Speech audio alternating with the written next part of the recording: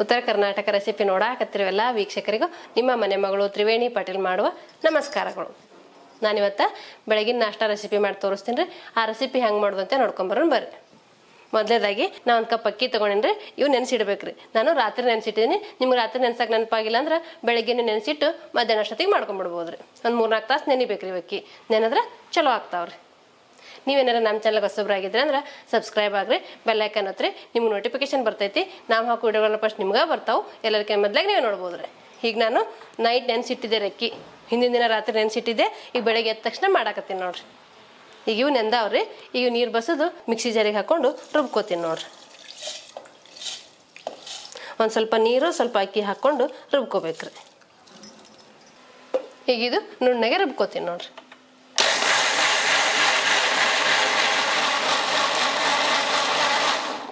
ಈ ರೀತಿ ರುಬ್ಕೋಬೇಕ್ರಿ. ಈಗ ನಾನು ಇದು ರುಬ್ಕೊಂಬಂದಿನಿ ರೀ ಈ ರೀತಿ ರೆಡಿ ಆಗೈತಿ. ಈಗ ಒಂದು ಪಾತ್ರೆ ಇಟ್ಕೋತೀನಿ ರೀ ಸ್ಟವ್ ಮೇಲೆ. ಈಗ ಇದಕ್ಕೆ ಈ ರುಬ್ಕೊಂಬಂದಿದ್ದ ಅಕ್ಕಿ ತರಿ ಹಾಕೋತೀನಿ ನೋಡ್ರಿ. ನೋಡ್ರಿ, ರುಬ್ದಾಗ ಈ ರೀತಿ ಆಗಿರ್ಬೇಕ್ರಿ ಇದು. ನೋಡ್ರಿ, ಮಿಕ್ಸಿ ಜಾರಿಗೆಲ್ಲ ಅಂಟ್ಕೊಂಡಿರ್ತೈತಲ್ಲ ಇದಕ್ಕೊಂದು ಸ್ವಲ್ಪ ನೀರು ಹಾಕ್ಕೊಂಡು ಹಾಕೋತೀನಿ ನೋಡ್ರಿ. ಈಗ ಇದಕ್ಕೆ ರುಚಿಗೆ ತಕ್ಕಷ್ಟು ಉಪ್ಪು ಹಾಕ್ಕೋಬೇಕ್ರಿ. ಈಗ ಇದು ಚಲೋ ಹೊತ್ನಾಗೆ ಮಿಕ್ಸ್ ಮಾಡ್ಕೋಬೇಕ್ರಿ.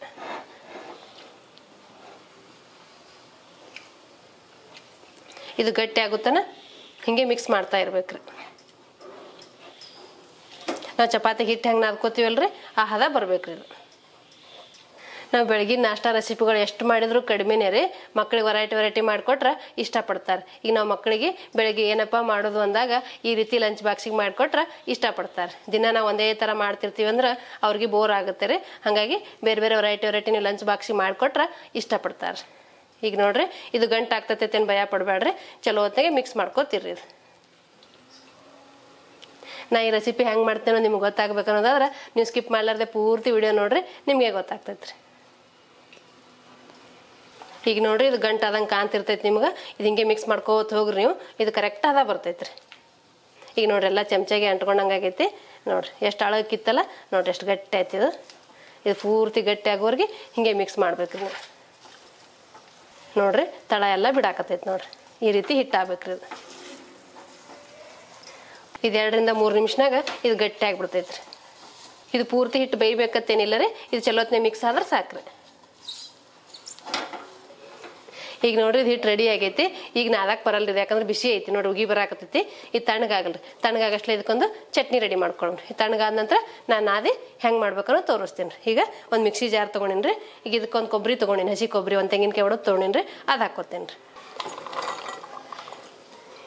ಈಗ ಇದಕ್ಕೆ ರುಚಿಗೆ ತಕ್ಕಷ್ಟು ಉಪ್ಪು ಹಾಕೋತೀನಿ ನೋಡ್ರಿ.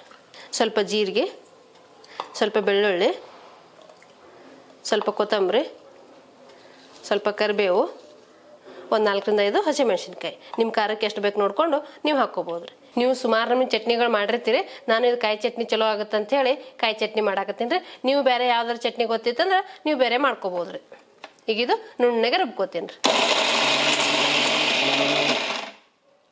ಈಗ ಇದಕ್ಕೊಂದು ಸ್ವಲ್ಪ ನೀರು ಹಾಕೋತೀನಿ ನೋಡ್ರಿ. ನಿಮ್ಗೆ ಎಷ್ಟು ಗಟ್ಟಿ ಬೇಕು, ಎಷ್ಟು ಆಳಕ್ಕೆ ಬೇಕು ನೋಡಿಕೊಂಡು ನೀವು ನೀರು ಹಾಕ್ಕೋಬೋದು ರೀ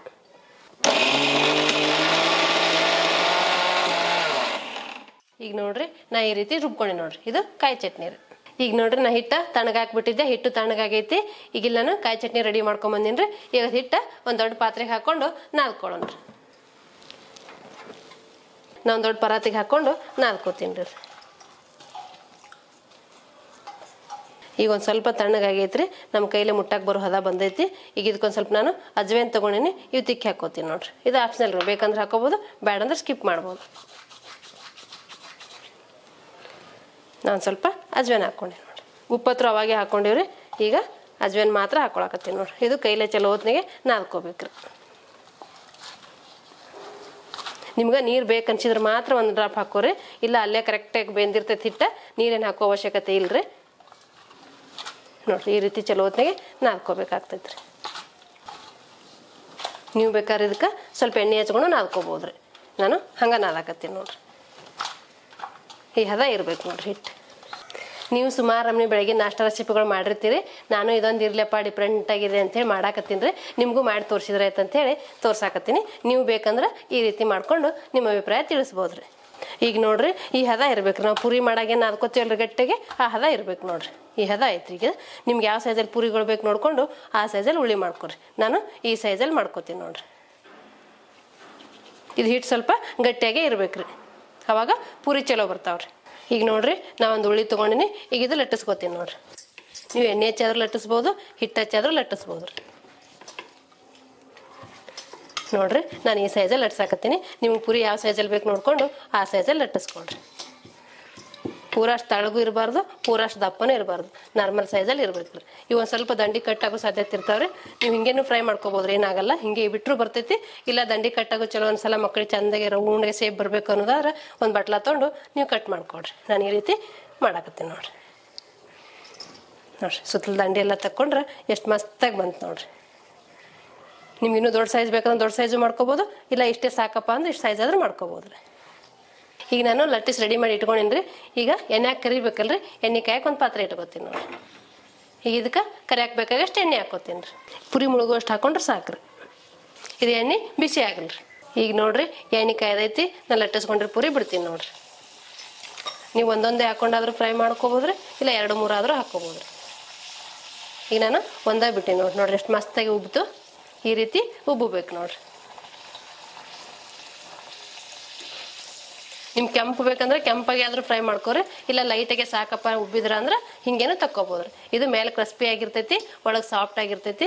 ನಿಮ್ಗೆ ಯಾವ ರೀತಿ ಬೇಕು ನೋಡ್ಕೊಂಡು ನೀವು ಫ್ರೈ ಮಾಡ್ಕೋಬೋದ್ರಿ. ನಾನು ಚಿಕ್ಕ ಚಿಕ್ಕದಾಗಿ ರೌಂಡ್ ಶೇಪಲ್ಲಿ ಮಾಡ್ಕೊಂಡಿನ್ರಿ. ರೌಂಡ್ ಶೇಪ್ ಇರೋದ್ರಿಂದ ಮಕ್ಕಳಿಗೂ ಚೆಂದ ಅನಿಸ್ತಾವೆ.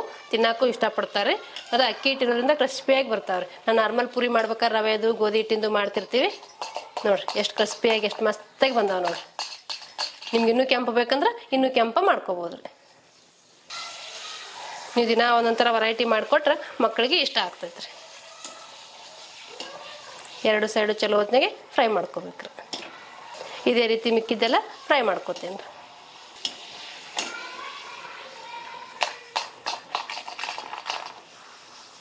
ಈಗ ನೋಡ್ರಿ, ನಾ ಈ ರೀತಿ ಅಕ್ಕಿ ಪೂರಿ ಮಾಡ್ಕೊಂಡಿನಿ. ನೀವು ನಿಮ್ಮ ಮನ್ಯಾಗ ಅಕ್ಕಿ ಪೂರಿ ಮಾಡ್ಕೊಂಡು ನಿಮ್ಮ ಅಭಿಪ್ರಾಯ ತಿಳಿಸ್ಬೋದ್ರಿ. ನೋಡ್ರಿ, ಎಷ್ಟು ಮಸ್ತಾಗಿ ಬಂದಾವು. ಮೇಲೆ ನೋಡಿದ್ರೆ ಕ್ರಿಸ್ಪಿಯಾಗಿ ಬಂದಾವು. ಒಳಗೆ ನೋಡಿದ್ರೆ ತುಂಬ ಸಾಫ್ಟಾಗಿ ಬಂದಾವೆ ನೋಡ್ರಿ. ವಾವ್, ನೋಡ್ರಿ ಎಷ್ಟು ಸೂಪರಾಗಿ ಬಂದಾವ ನೋಡ್ರಿ. ಈ ರೀತಿ ಮಾಡಿಕೊಟ್ರೆ ಮಕ್ಳು ಇಷ್ಟಪಟ್ಟು ತಿಂತಾರೆ ನೋಡಿದ್ರಲ್ರಿ ವೀಕ್ಷಕರ, ಬೆಳಗಿನ ನಾಷ್ಟಕ್ಕೆ ಅಕ್ಕಿ ಪುರಿ ಮಾಡೋದನ್ನ. ಈ ಅಕ್ಕಿ ಪುರಿ ಮಾಡೋ ಪದ್ಧತಿ ನಿಮ್ಗೆ ಇಷ್ಟ ಆಗಿತ್ತಂದ್ರೆ ಒಂದು ಲೈಕ್ ಮಾಡಿರಿ ಶೇರ್ ಮಾಡಿರಿ ಕಮೆಂಟ್ ಮಾಡಿರಿ ಸಬ್ಸ್ಕ್ರೈಬ್ ಆಗ್ರಿ. ಧನ್ಯವಾದಗಳು.